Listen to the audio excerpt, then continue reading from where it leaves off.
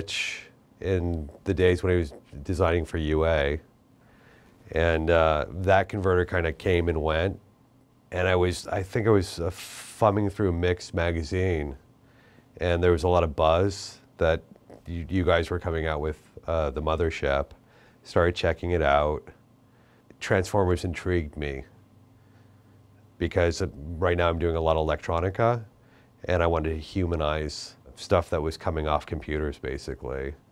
And so I thought, okay, what if you had something that sounded like tape, a converter that humanized basically what was coming off a, la- a laptop or out of uh, the various um, DAWs, you know, soft synths coming through transformers.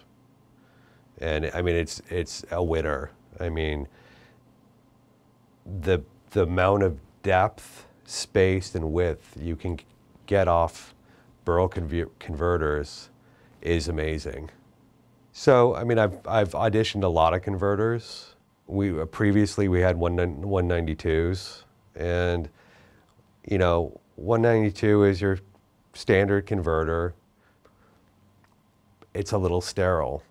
Stereo field's a little flat, and lots and lots of records were made on 192s, but it lacked depth as far as converters. And I started looking at hi- higher and higher end converters, and everybody always talks about purity of sound. Like the cleanest, like you have to, if you're going to buy a high end converter, you have to get the cleanest, most pristine sound coming off that converter. And if you start thinking about tape and the magic that tape produced in the 70s and the uh, early 80s, you're not talking about pristine. You're talking about distortion and how distortion affects human hearing.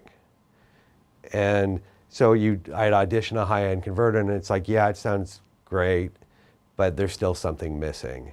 And the first time I heard the mothership, my jaw dropped the extension of bass straight into the floor, like it was just grounded into the floor. The sparkle on the highs, and beautiful mids, and it's very, it's the way the human ear hears.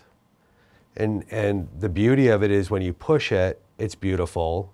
When you pull back, it's beautiful, and it does that thing that you seek when you're mixing, which is when you push it hard, the stereo field opens up and everything kind of pops forward.